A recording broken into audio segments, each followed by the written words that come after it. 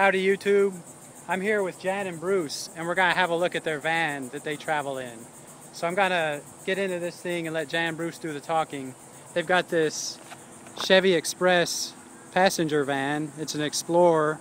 This is a 2012. And let's hear about what they've got in here. Okay, in the back we have our kitchen. Right now we're just got our map box, but normally this has our um, Microwave. microwave. And when we want to cook, we take the microwave out of here, put it on the table, and use it. This is a drawer, has our knives, forks, spoons, and all of the junk you seem to manage to collect and think you need. This was all um, reclaimed wood from a kitchen re remodeled. This came from Habitat from, for Humanity, and this is our kitchen.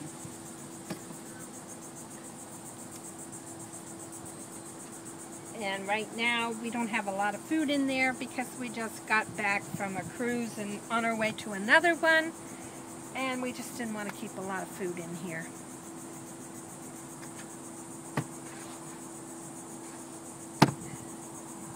Um, the other thing we have,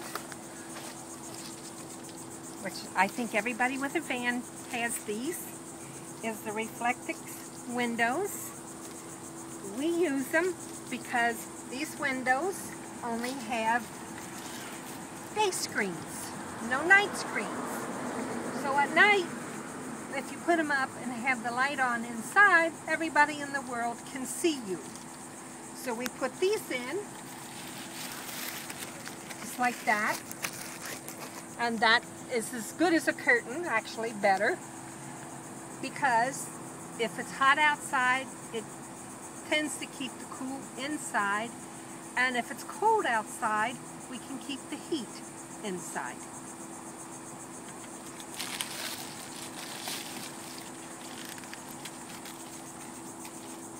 The other thing we use is this for our electric. And um, comes off like this. Put it on the electric pole, run it over to your van. We put this in our window and then we attach everything to the female side of the plug. When we are on a long trip, we do our wash every couple days. We keep two of the five gallon buckets in our van with the lids and we have one for light clothes, one for dark clothes. We put our clothes in there, water, soap, put the lids on, and then as we go down the road, we let our traveling and bumping around agitate the clothes. Then when we get to the campground, we dump that out two or three times, wash the clothes out with clear water, and then we put them on this, which folds out. This is called an air dryer, and they have all different kinds, but we found this kind works best with the little arms that come out because you can get more clothes on it. And there are lots of campgrounds, particularly private ones, that don't want you to have your clothes hanging out on a line. So this takes care of that problem. We put it in the back of our van so nobody can see it and see our underwear hanging out. And uh, we get it dry. And that works great. I guess the next thing I'll show is my curtains, or my screens. Um, I made these myself. This is mine. And my husband doesn't like this style, so I had to make a different style for him.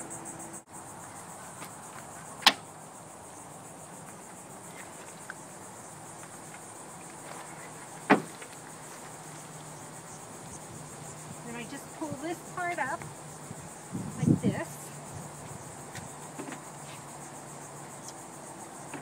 It has magnets, one here to hold it, and because I have a mirror, you can't put it around the mirror, so you have to go straight down. And then I straighten this all out. And the reason I like this one is because of the material around here. And then all I have to do,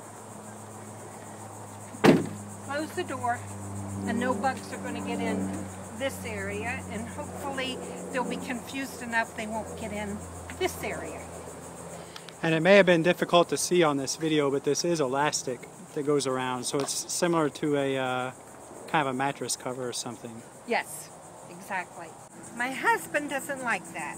He thinks that's too much work.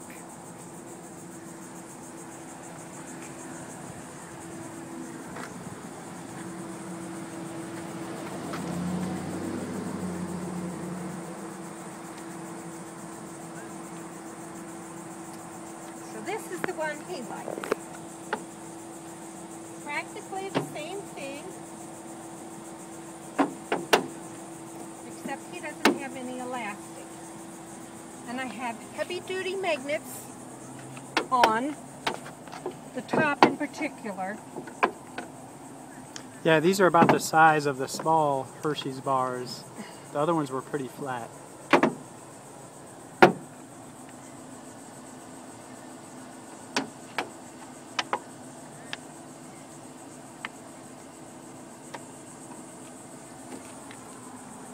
And you just pull it over to get it adjusted correctly.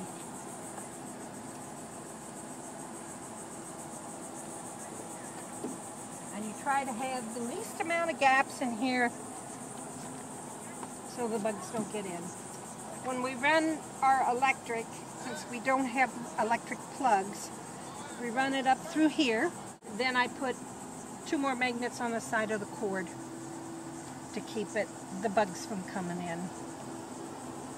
And it has worked until last night when the no-see-ums got to us. So I bought some stuff at the store, and we're going to test it out tonight, that you put on screens. You just rub it on, instead of rubbing you down, you rub it on screens, and it's supposed to keep all bugs from entering. So we're going to see how well that works. Okay, um, we chose a seven passenger van so that this can be our family vehicle when we get home and not just uh, a camper. Um, side windows open, we have screens here on three sides. And we like the big viewing windows. We think that's cool.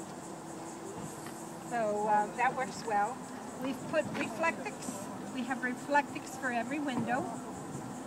Um, and these we leave up all the time, even when we're at home, to help protect the upholstery from the sunshine. Strip is a, an exception rather than the rule. We have two of the long underbed containers that you would put blankets or whatever under your bed, but we use them to put our off-season clothes on in when we're traveling. In other words, we went to California last year and when we started out it was cold. So we had our winter clothes packed in the van and our summer clothes underneath. And when it got warmer, then we switched everything around, put our winter clothes underneath and our summer clothes in the van. Now speaking of in the van, Thank you.